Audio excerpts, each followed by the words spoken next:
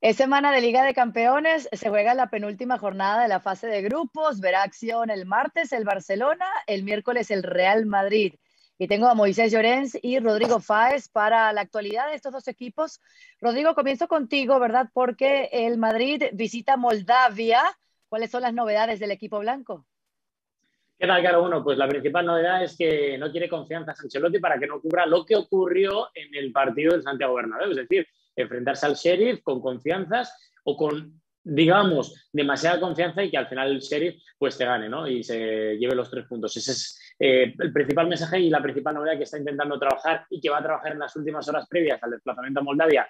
Carlo Ancelotti, que todavía no sabe si va a poder contar con Valverde. La semana pasada nos dijo en rueda de prensa que seguramente la próxima semana ya podría eh, disputar algún que otro minuto. Vamos a ver si llega tiempo para este choque contra el Sheriff, que es un choque muy importante porque estamos viendo cómo está esa clasificación del grupo de, la Champions, con nueve puntos el Real Madrid como líder y que quiere cerrar esa clasificación con tan solo, insisto, un partido perdido que fue el que perdió contra el Sheriff, que lleva seis puntos y que se está jugando primero el asunto de meterse como segundo de grupo contra el Inter de Milán o asegurar como ya casi tiene asegurada esa tercera plaza que da acceso a la Europa League. Así que en principio, eh, con esa duda de Valverde, que vamos a ver cómo evoluciona, y también obviamente con la recuperación de Eden Hazard, que vamos a ver si se recupera de esa gastroenteritis a tiempo, debería, porque si no es que la gastroenteritis eh, será algo más, pero ya dijo el propio Ancelotti que no era COVID, que era un virus estomacal y que esperemos que llegue al partido contra el Sheriff para, para que pueda dejar al resto de sus compañeros, porque es que si no, baja la persiana y el verdad que se dedica a otra cosa.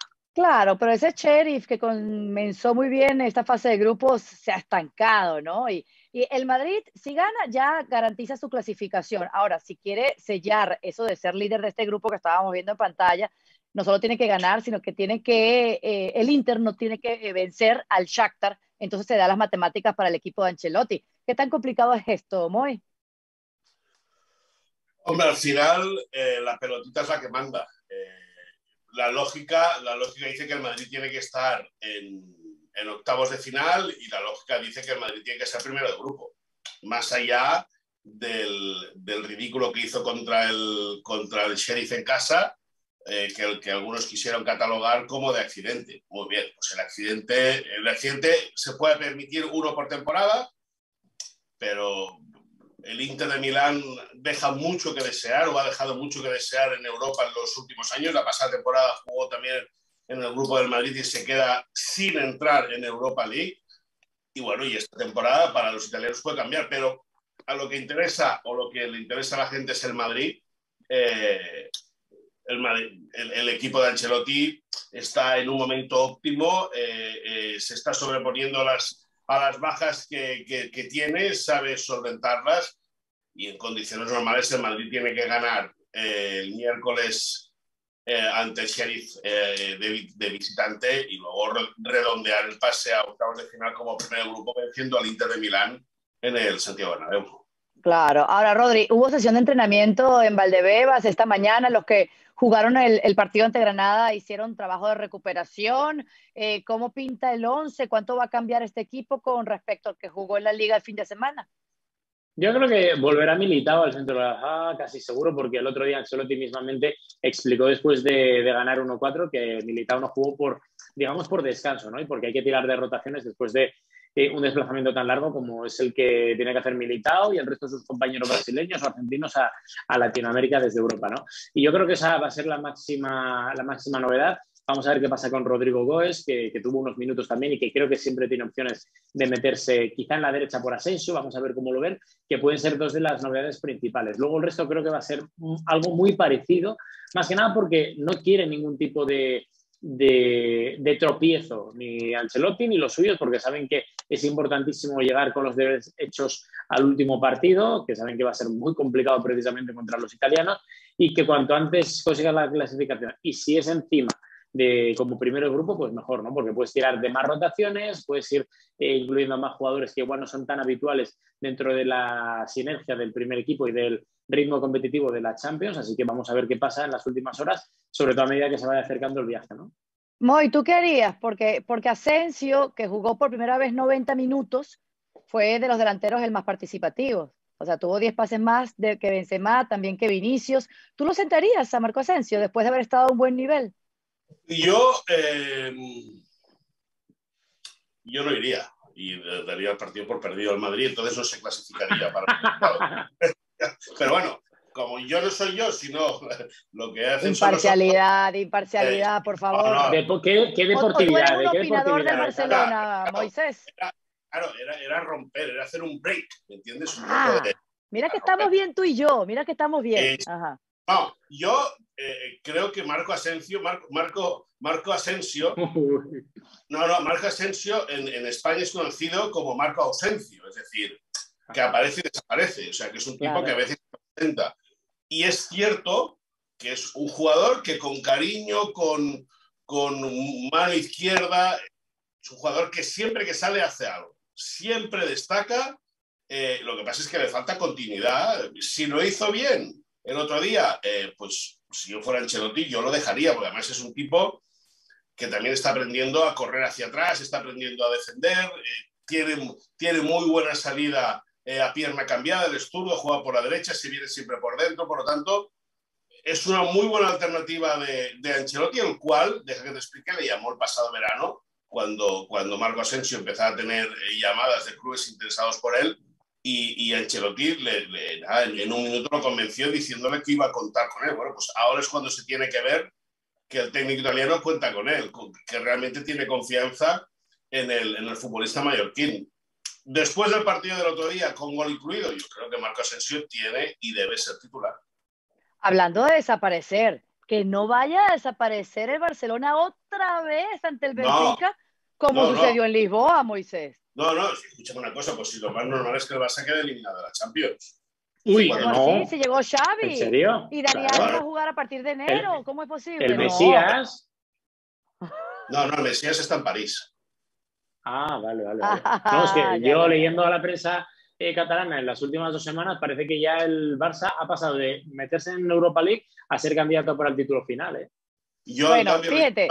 yo, en cambio, leyendo la prensa de Ponferrada, veo que el Sporting ni apareció en Ponferrada, ni está ni se le espera, pero bueno. Y, y yo, y yo leyendo la tabla de posiciones aquí del grupo E, veo que nadie le quita esa posición número uno al Bayern de Múnich, eso no, ni hablar. Ahora, no. es el segundo lugar el que está en juego y se la juegan sí. el Barcelona y el Benfica en este partido, Moy. Y además, te digo una cosa, es que al Barça solo le va de ganar, porque es sentenciar ya meterte en octavos de final. Eh, pienso que mañana, yo soy de los que cree, y no es para ir al contragafe ni mucho menos, que el Barça mañana no gana el partido. No, no, no, no, no es muy difícil de, de, de, estar de acuerdo contigo en ese sentido, bueno, porque bueno, ah, ah, o sea, que... también es cierto, también es cierto que el Barça en Lisboa tiene opciones, pese a perder 3-0, con el 1-0 de eh, eh, igualar el partido de manera sobrada. Ahora, eh, considero que un equipo que pierde las dos primeras jornadas de la Champions, que o sea, empieza, llegas casi al ecuador de la, fase de grupos con cero puntos y ahora que tenga opciones de meterse es una proeza. Pero, pero, me da que el, que el Benfica tiene eh, a George Jesús, un técnico que sabe muy bien lo que quiere sus jugadores. El Benfica es verdad que no arrancó bien el campeonato eh, eh, local, el campeonato doméstico, la liga portuguesa, pero se va sentando y va encontrando cada vez más su manera de, jugar. Al, al, Benfica el empate le puede, valer, le puede valer, teniendo en cuenta que en la última jornada el Barça viaja a Múnich y los bávaros están esperando al Barça con, con, con el Kalashnikov apuntando. Por lo tanto, eh, el Barça o gana mañana, está fuera de la Champions y se metería en la Europa League, también dependiendo de lo que haga el Dinamo contra el Bayern de Múnich en un partido que empieza a las 7 menos cuarto de la tarde, hora europea. Sí, pero Moy, háblame, háblame de, del equipo de Xavi. Este es el equipo de Xavi. Y ese 11, ¿cuánto cambiaría con respecto al que arrancó la era de Xavi con victoria ante el Español? ¿Cómo va a cambiar ese 11 y los que estén en cancha, verdad? Porque sabemos que sí. está sancionado por, por, por aquella sí. sanción que arrastra de la Youth League. Ajá. No, exacto, Elías lo expulsaron en la Youth League, eh, mm. no puede jugar. Abde eh, no pudo ser inscrito, eh, por mm. mucho que, que, alguien acusara a Ronald Koeman y a Ramón Planes de equivocarse, ni mucho menos. Abde lo ficha al Barça para poder inscribir a un jugador en la Champions. Ha de ser ficha del primer equipo o bien llevar dos años en el filial. en ese, o, en el fútbol base, en ese sentido, eh, Abde no pudo porque lo contrató el Barça del Hércules de Alicante el pasado mes de agosto. Eh, veremos quién es el que mete arriba. Dembélé, eh, según nos explicaban hoy del entorno más cercano del futbolista, estaría en condiciones. Ahora, ellos no quieren que vuelva a jugar porque ya sucedió eh, en la última vez cuando el Barça visitó al Dinamo de Kiev, que tanto Araujo como, como Dembélé, y no recuerdo qué, otro jugador, eh, ah, Sufati, los tres eh, actuaron con, con, el límite médico, es decir, que los médicos aconsejaban que no, que no salieran a jugar. Ronald Koeman decidió que, que era lo mejor y bueno, y, los tres han tenido que esperar un tiempo para, para, volver, o sea, los tres recayeron de sus sesiones. Eh, en el lateral derecho jugar a Sergio Roberto, por fin el Barça saldrá con 11, porque jugar con Mingueza es jugar con 10 o con 9 y medio, por lo tanto... Eh, eh Sergio Roberto en el lateral derecho, olvídate del mambo. Roberto lateral derecho y Mingueza, pues que no vale ni para llevar el agua, pues... pues, hola, hola, hola. ¿Te ha quitado la novia o qué? A ver, no, a ver. no, no, escúchame, no es que me haya quitado la novia, es que yo no sé si viste el partido el sábado. Un futbolista es ridículo. Un, jugador, un jugador que es un auténtico cobarde, un tipo, un tipo que mata al entrenador una vez se ha ido, es un cobarde. Y eso se tiene ah, Bueno, pues entonces Jordi Alba también lo es, porque cuando se fue Luis Enrique rajó de él, ¿o qué? Ya va. Estamos viendo la placa. Estamos viendo la placa. Moisés. Con Alba, ¿tú? Yo, de Alba no, yo te digo de Mingueza que me parece una. Bueno, iba a decir una cosa que me hubieran puesto un pi, como no quiero que me pongan un pi, pues no lo digo. Exacto, o cambiamos el tema, porque yo veo estas posiciones aquí. ¿Tú realmente piensas que no van a clasificar a octavos de final o es psicología inversa? No, no, no, yo te, no, es, no, es, el contragafe. No es el contragafe. Creo que el Benfica es un equipo eh, no, que sí, que mañana le puede poner muchos problemas al Barça, pero muchos problemas al Barça. El Barça, Xavi dice que quiere jugar sin extremos, y no tiene extremos. A partir de ahí, a ver qué se inventa. Hombre, esto es fútbol, y evidentemente un rebote, lo que sea, te, puede valer ahora. El Barça de Xavi, como el Barça de Kuman, el Barça de Setién o el Barça de Valverde en su momento, tenía el mismo problema que en el minuto 70 el equipo está fundido. Bueno, pues, pues vamos a ver de qué manera el Barça puede recomponerse o puede rehacerse ante, ese momento. Y luego otra cosa, claro, el Barça no tiene gol. Exacto, ese era el punto que le iba a invitar a Rodrigo para que diga algo del Barça, porque ha marcado solo dos goles en esta fase de grupos y vemos a un rival que tiene con qué inquietar al nuevo equipo de Xavi Hernández.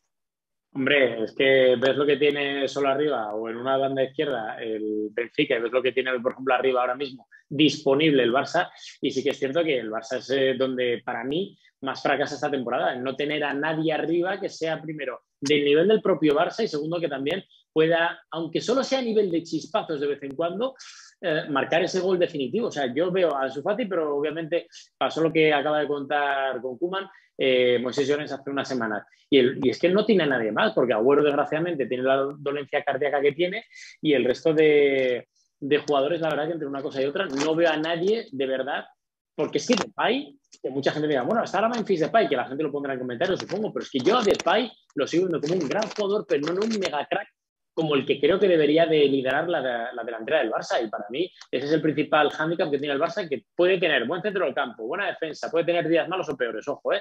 pero puede tener a nivel teórico buenos jugadores. Pero es que arriba creo que le falta mucha gente porque existe. Si no es de John, que no, pues es de Pai, que para mí un poco mejor, pero que tampoco. Veremos, veremos para acabar, una, cosa, para reforzar lo que dice Rodri. En condiciones, En condiciones normales, Depay sería el cuarto o el quinto delantero del Barça. Ya está. y viniendo a coste cero, es decir, que al final el fichaje, entre comillas, estrella del Barça, más allá de la gente joven que ha salido, que creo que lo hace muy bien y lo va a hacer muy bien en el futuro. El fichaje estrella es un tipo a coste cero que en condiciones normales sería el cuarto o el quinto delantero. Miren, miren, miren cómo viene haciendo magia. Se acabó.